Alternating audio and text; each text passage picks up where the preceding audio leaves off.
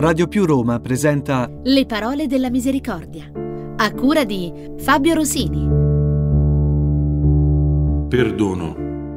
Nel nostro concetto mm, comune di perdono noi mm, intendiamo una uh, intenzione della volontà che si apre all'accoglienza dell'errore altrui. È interessante notare che eh, nel più antico dei Vangeli, il Vangelo di Marco, la parola perdono, eh, remissione dei peccati, perdono, eh, compare sulla bocca di Gesù quando gli calano dal tetto un paralitico il quale eh, viene posto davanti evidentissimamente perché lui ne guarisca la paralisi.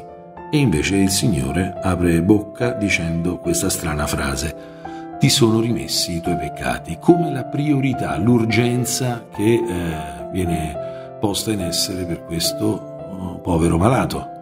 E c'è il commento dei farisei, chi può rimettere i peccati se non Dio solo? È interessante notare che Gesù non contesterà il contenuto di questa frase, ma farà capire che è successo qualcos'altro, che sono alla presenza dell'inviato di Dio, del, di Dio stesso. Ma perché questa frase dei farisei? Beh, dobbiamo capire che nell'Antico Testamento esistono due verbi che sono riservati a Dio. Cioè sono due verbi che solo eh, hanno come eh, agente, come soggetto, eh, Dio stesso. Il verbo bara, che vuol dire creare, e il verbo selach, che vuol dire perdonare. Perdonare è un atto divino, solo Dio può rimettere i peccati. Noi possiamo pensare di aggiustare le cose, ma rimettere i peccati, toccare così profondamente la persona umana, da resettarla da un suo errore, noi sappiamo fare tante cose, ma questo no.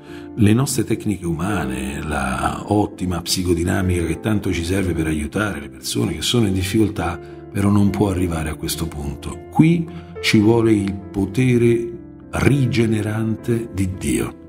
Solo Dio sa perdonare. Noi quando perdoniamo attingiamo alla forza stessa di Dio.